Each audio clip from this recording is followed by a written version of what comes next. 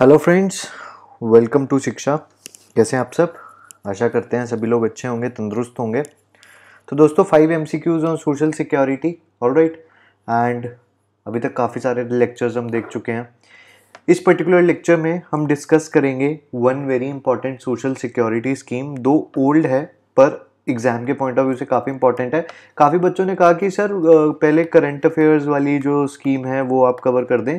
देखिए current affairs तो आप लोग पढ़ ही रहे हैं। ठीक है करंट अफेयर्स वाली स्कीम भी आपके लिए कवर करेंगे, पर सोशल सिक्योरिटी में से जो सब्जेक्ट स्पेसिफिक सोशल सिक्योरिटी के क्वेश्चन आएँगे, काफ़ी पुरानी स्कीमों में से क्वेश्चन आने के चांसेस रहते हैं और वो कोई भी कवर नहीं करता। ठीक है?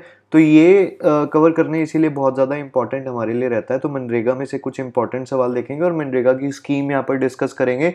काफ़ी सारे क्वेश्चन जो है मनरेगा में से निकल सकते हैं। पहले मैं आपको पाँच क्वेश्चन दिखाऊँगा।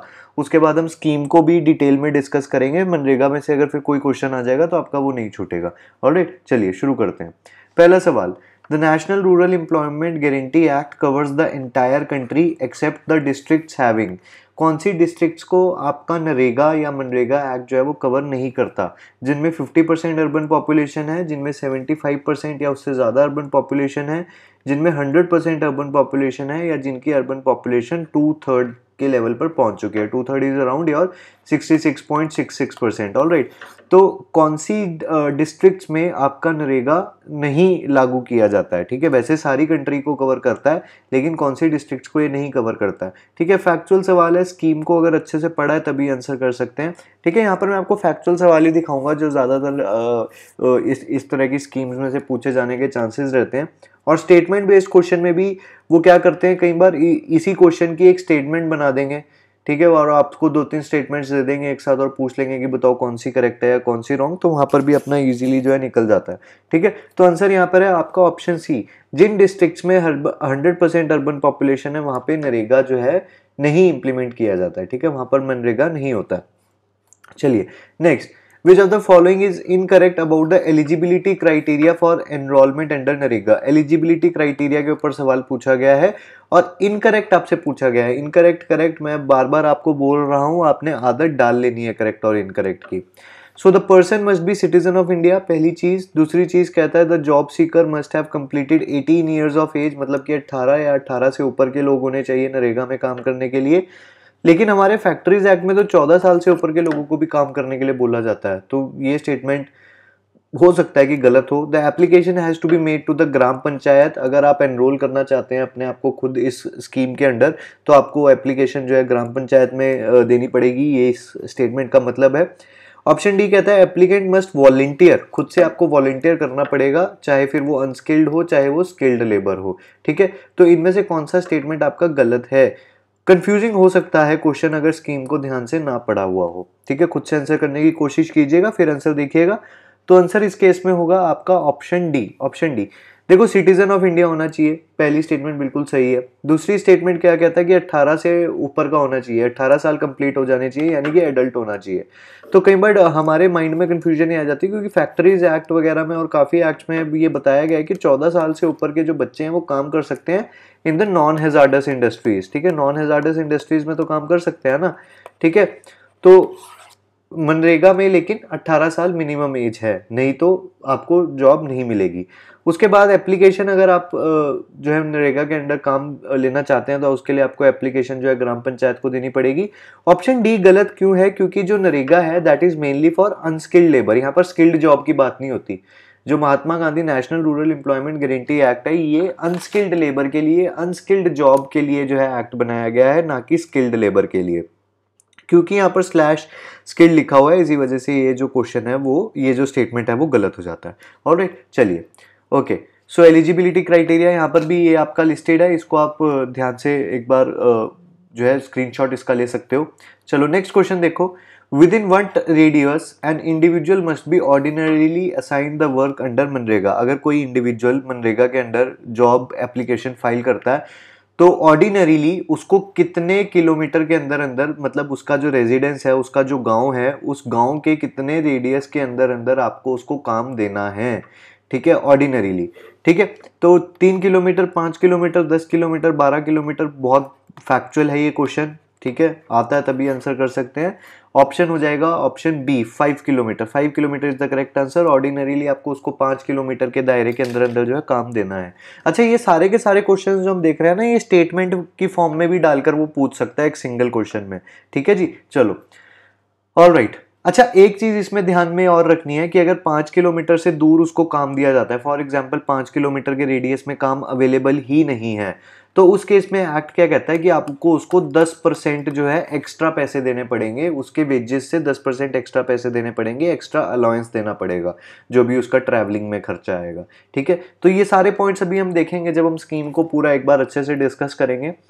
Next question what can be the maximum period of disbursement of wages under MNREGA?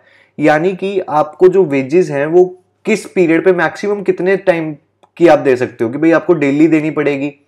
Weekly देनी पड़ेगी उससे ज़्यादा आप लेट नहीं कर सकते। फोर्टनाइटली देनी पड़ेगी या मंथली देनी पड़ेगी।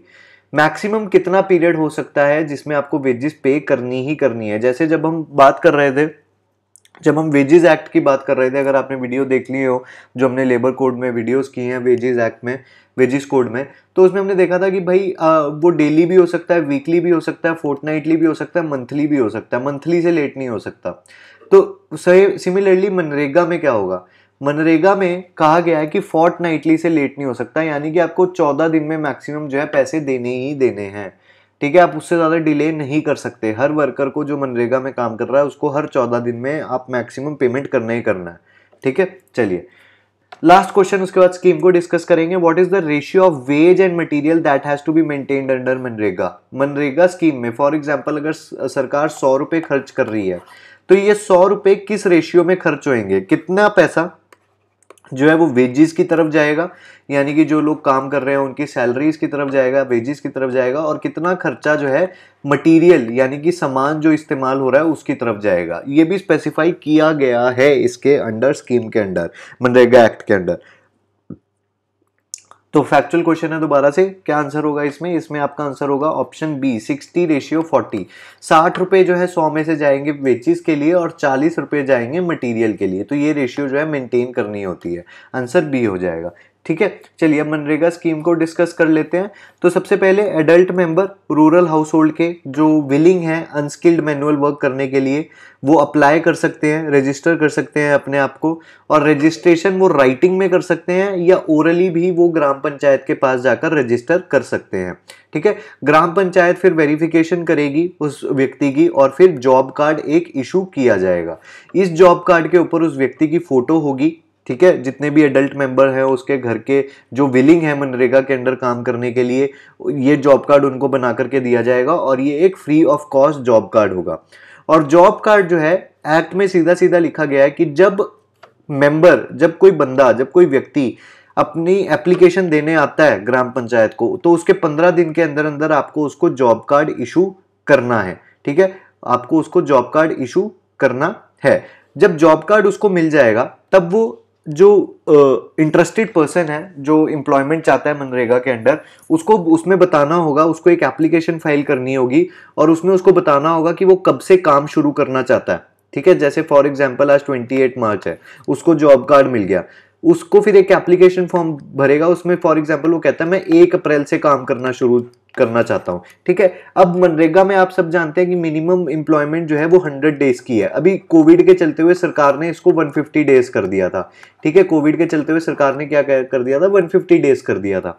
तो 150 डेज़ है फॉर एग्ज़ाम्पल तो एक अप्रैल को फॉर एग्ज़ाम्पल उसने कहा, मैं काम करना शुरू करना चाहता हूँ। उसको एंड डेट भी बतानी होगी कि आप भी कितने दिन के लिए काम करना चाहते हो? एक महीने के लिए काम करना चाहते हो? दो महीने के लिए करना चाहते हो? या पूरे डेढ़ सौ दिन के लिए करना चाहते हो? ठीक है? तो वो उसमें वो भी बताएगा। लेकिन एक कंडीशन ये है कि मिनिमम उसको चौदह दिन के लिए तो काम करना ही करना पड़ेगा। यानी कि वो ये नहीं कह सकता कि मैं सिर्फ़ एक अप्रैल से दस अप्रैल तक काम करना चाहता हूँ। नहीं मिनिमम चौदह दिन उसको काम करना ही करना पड़ेगा। उससे कम काम का इसमें प्रोविज़न नहीं है। बहुत इंपॉर्टेंट पॉइंट है डायरेक्टली पूछा जा सकता है। तो मिनिमम चौदह दिन है। ठीक है जी? उसके बाद जब एप्लीकेशन आ गई कि हाँ भाई, मैं एक अप्रैल से काम करना शुरू करना चाहता हूँ या जिस भी डेट से मैं काम करना शुरू करना चाहता हूँ तो जो ग्राम पंचायत है, उसको ये देखना होगा कि उस व्यक्ति को एप्लीकेशन फ़ाइल करने के पंद्रह दिन के अंदर अंदर काम जो है वो मिल जाए। ठीक है? पंद्रह दिन के अंदर अंदर उसको काम मिल जाना चाहिए और अगर उसको पंद्रह दिन के अंदर अंदर अपनी एप्लीकेशन फ़ाइल करने के बाद काम नहीं मिलता तो उसको अनएम्प्लॉयमेंट अलाउंस यानी कि बेरोजगारी भत्ता जो है वो देना पड़ेगा। अगर उसको पंद्रह दिन के अंदर अंदर काम नहीं मिलता, अगर ग्राम पंचायत के पास या स्टेट गवर्नमेंट के पास काम ही नहीं है तो वो क्या करेंगे? काम पे कैसे लगाएँगे? तो उस केस में सीधा बोल दिया गया कि अनएम्प्लॉयमेंट अलाउंस दोगे और ये जो अनएम्प्लॉयमेंट अलाउंस का खर्चा होगा, ये सारे का सारा खर्चा जो है वो स्टेट गवर्नमेंट बेयर करेगी। स्टेट गवर्नमेंट बेयर करेगी, ठीक है? ये वाला पॉइंट ऑलरेडी हम डिस्कस कर चुके हैं। नेक्स्ट वाला पॉइंट पाँच किलोमीटर के रेडियस के अंदर अंदर आपको जो है उसको काम प्रोवाइड कराना पड़ेगा। और अगर आप नहीं करा पाते हैं तो आपको उसको दस परसेंट एक्स्ट्रा वेजेस देनी पड़ेंगी। ऑल राइट नेक्स्ट जो वेजेस हैं वो मिनिमम वेजेस एक्ट 1948 के तहत आपको उसको पे करनी पड़ेंगी। अब आपको दि, दिमाग में सवाल आ रहा होगा कि सर आपने जब वेज कोड कराया था तब आपने कहा था कि मिनिमम वेजेस एक्ट जो है खत्म हो गया है। ठीक है वेज कोड के अंदर ही सब्ज्यूम हो गया पर मैंने आपको एक और चीज़ भी करवाई थी वेज कोड के अंदर कि कौन से कौन से ऐसे कानून हैं कौन से कौन से ऐसे एरियाज़ हैं जहाँ पर जो ये वेज कोड है उसका इफ़ेक्ट नहीं आएगा। जो 2019 का वेज कोड है, उसका कोई इफ़ेक्ट नहीं आएगा, उसमें से एक मनरेगा भी था। तो मनरेगा में जो सिस्टम जैसा चल रहा है, वैसा ही चलेगा, ठीक है? जो आपका 2019 का वेज कोड है, उसका कोई भी इम्पैक्ट अभी तक मनरेगा के ऊपर नहीं आएगा। आगे चलकर अगर सरकार कुछ चेंज करती है then it will be a different thing पर अभी कोई चेंज नहीं आएगा, ठीक है जी?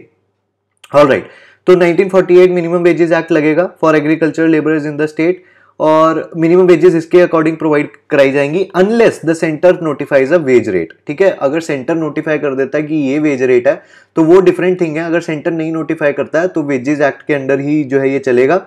और इसमें सीधा सीधा ये भी बोला गया है कि जो सेंटर है जब वो वेज रेट सेट करेगा तो वो 60 पर डे से कम पर वेज रेट नहीं सेट कर सकते। 60 पर डे पर वेज रेट से, से वेज रेट कम नहीं सेट कर सकते। इंपॉर्टेंट है याद रखेंगे। और एक्ट में यह भी लिखा गया है कि इक्वल वर्क के लिए इक्वल वेजेस प्रोवाइड कराई जाएँगी बोथ मैन एंड वुमेन को। ठीक है? वेजेस में कोई भी डिस्क्रिमिनेशन नहीं होना चाहिए। ओके वेजेस जो है, वो डेली रेट या पीस रेट के हिसाब से आपको पे करनी पड़ेंगी और डिसबर्समेंट ऑफ़ वेजेस जो है, वो वीकली बेसिस पर जो है आपको करनी है। मैक्सिमम आप फोर्टनाइट बेसिस पर कर सकते हो, लेकिन उससे लेट आपको नहीं करना है। वन थर्ड बेनिफिशियरीज मनरेगा के कम से कम वुमेन होने चाहिए, ये भी एक इंपॉर्टेंट पॉइंट है क्वेश्चन बन सकता है डायरेक्टली वर्क साइट फैसिलिटीज़ भी प्रोवाइड करानी पड़ेंगी like creche drinking water shed okay और the shelf of the project for a village will be recommended by gram sabha and approve by the जिला पंचायत ठीक है? जो भी प्रोजेक्ट होंगे ग्राम सभा उसको अप्रूव करेगी.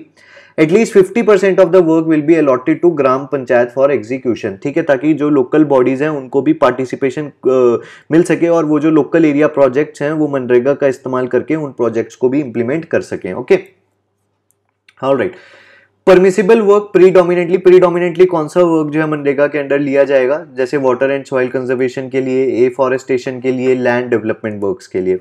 60 to 40 wage and material ratio आपको इस्तेमाल करना है इसमें। ये हमने क्वेश्चन में पहले भी देख लिया है। And no contractors and machinery is allowed ठीक है? अनस्किल्ड अगर आपको लेबर प्रोवाइड करानी है, अगर आप वहाँ पर बड़ी बड़ी मशीनें रख दोगे तो कोई फ़ायदा नहीं रहेगा एक्ट का, ठीक है? इसीलिए इसमें कहा गया है कि कोई कॉन्ट्रैक्टर या मशीनरी का इस्तेमाल नहीं किया जाएगा। अब कॉस्ट शेयरिंग की बात करते हैं। वेज कॉस्ट जो होगी, यानी कि जो वेजेस पे होंगी लोगों को, उसका 100 परसेंट खर्चा जो है वो सेंट्रल गवर्नमेंट उठाएगी। ठीक है? 100 परसेंट खर्चा वेजेस का कौन उठाएगा? सेंट्रल गवर्नमेंट उठाएगा। और जो मटेरियल कॉस्ट है, जो मटेरियल इस्तेमाल हो रहा है, उसमें 75 परसेंट खर्चा कौन उठाएगा? सेंट्रल गवर्नमेंट उठाएगा, बाकी का 25 परसेंट जो है स्टेट गवर्नमेंट उठाएगा। सोशल ऑडिट का काम भी करेगी ग्राम सभा। ठीक है, ये इंपॉर्टेंट है। सीधा सीधा सवाल स्टेटमेंट बेस्ड क्वेश्चन में पूछा जा सकता है कि under the MNREGA act the responsibility of social audit has been given to gram sabha. ठीक है, सीधा सवाल आएगा। सीधा। तो ये सारी स्टेटमेंट्स रट लेनी है आपने। ग्रीवियंस रिड्रेसल मैकेनिज्म भी होगा। अगर कोई ग्रीवियंस रहती है किसी वर्कर की, उसको अगर टाइमली काम नहीं मिल रहा, उसका जॉब कार्ड प्रॉपर वे में नहीं बना, उसको अनएम्प्लॉयमेंट अलाउंस नहीं मिला है तो उसके लिए ग्रीवियंस रिड्रेसल मैकेनिज्म भी आपको फॉर्म करना पड़ेगा, ठीक है? और सारे के सारे जो भी अकाउंट्स हैं, जो भी रिकॉर्ड्स हैं, चाहे वो कोई इंफ्रास्ट्रक्चर क्रिएट हो रहा है या कुछ बिल्डअप हो रहा है तो उस केस में सारे के सारे अकाउंट्स और रिकॉर्ड्स जो हैं, वो पब्लिक स्क्रूटिनी के लिए अवेलेबल होने चाहिए इस स्कीम के अंडर ठीक है? ताकि ओपननेस रहे स्कीम में। तो ये भी इसमें मेंशन किया गया है ओके चलिए तो यहाँ पर हमारा मनरेगा खत्म हो गया मनरेगा में से ऑलमोस्ट आपके सारे क्वेश्चन जो है क्रैक हो जाएँगे। अगर कोई भी क्वेश्चन मनरेगा की स्कीम से रिलेटेड आता है तो वो इजीली आप कर लोगे। ऑल राइट तो मिलेंगे अब नेक्स्ट वीडियो में। चैनल को सब्सक्राइब करना मत भूलिएगा। शेयर करना मत भूलिएगा। ज़्यादा से ज़्यादा बच्चों को जोड़ने की कोशिश कीजिए, मज़ा आएगा। और बाकी की प्लेलिस्ट्स आपकी स्क्रीन के ऊपर हैं, वो भी देख लीजिएगा। काफ़ी हेल्पफुल रहेंगी। मिलते हैं अगली क्लास में। तब तक के लिए all the best and bye